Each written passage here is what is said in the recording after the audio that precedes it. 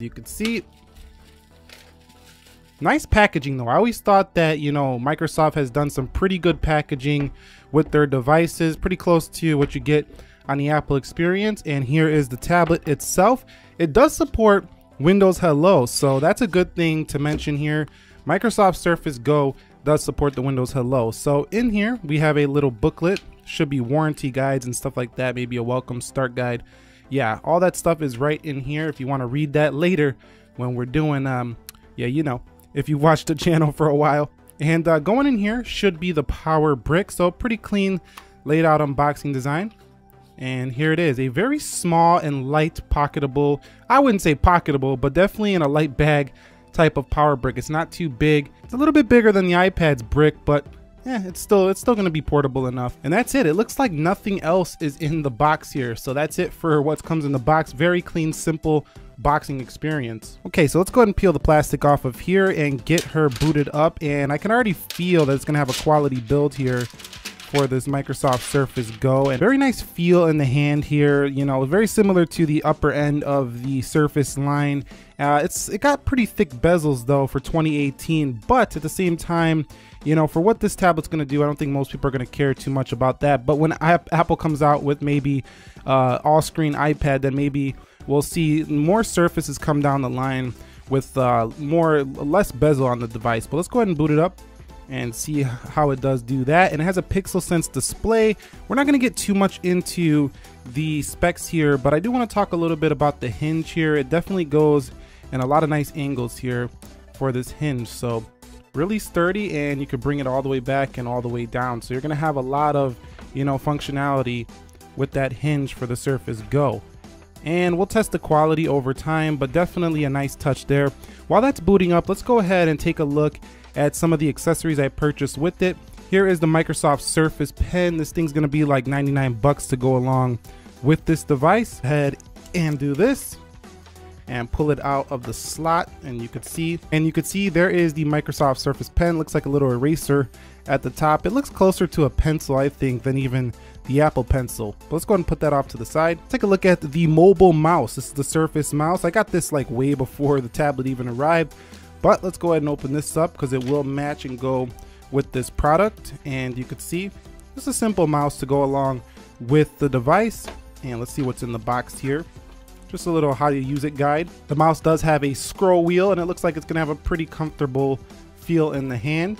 And Microsoft has always done pretty nice mouses, so I think this will be a pretty good one to use. And lastly, probably the most must-have accessory that goes along with the Surface is the Alcantara signature type cover. So you can see it says, sourced from Italy, Alcantara is a unique, innovative material used for high-end luxury products. So definitely high-end feeling with Alcantara. That material definitely feels high-end. You see that in a lot of high-end sports cars. So having it on your keyboard is a nice touch. Let's go ahead and wreck this box and get in here and see this type cover. So definitely the type cover is a little bit smaller than prior editions of, you know, the Surface type cover like the one for the Microsoft Surface Pro, the bigger version. But for the Go, it's a little bit smaller, but still it's going to provide that same functionality. Okay, so we are now in the Microsoft Surface Go. You can see it runs Windows S and this keyboard is very sturdy for the device. A couple pros with this device I want to talk about. The first time you can get a Surface device at a price point that,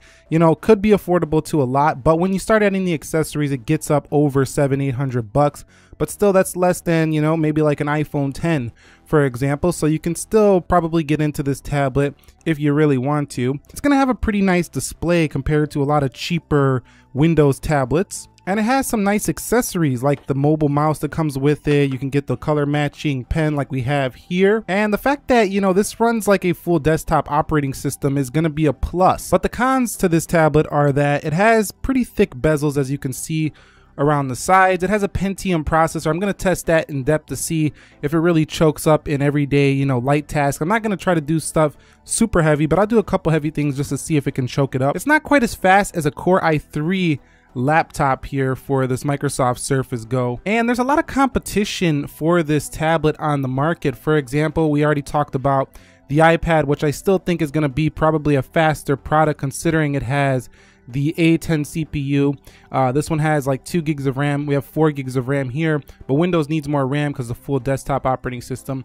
And then if you add in all the accessories that go along with the Surface Go, you can get yourself into an entry level iPad Pro. Granted, you're not going to get the pencil and the keyboard with it, but if you get a third party accessory, you find it on sale or something, you can get an iPad Pro for almost the same price as this tablet right here. And if you find it on the used market, definitely. So the Microsoft Surface Go has definitely got its competition and work cut out for it. Samsung also just released the Tab S4, which comes with a keyboard, you know, half off if you get it now and that has a Snapdragon 835 and 4 gigs of RAM with Samsung DeX support, so that's going to be another competitor in this market. But I think the compelling thing about the Surface Go is that for the first time ever, you're getting yourself a Surface device with all the attachments and accessories that's going to be less than a $1,000. But that processor might be the drawback of this device. USB-C, this one loses some of the ports of the other devices, so you might have to get a hub if you're going to be doing a lot of transferring with this device. But I think this is going to be aimed for people who are doing light work, students who are just writing papers and stuff. This will be enough for sure. Anyway, any questions, comments, concerns, I'm going to put it through its paces and bring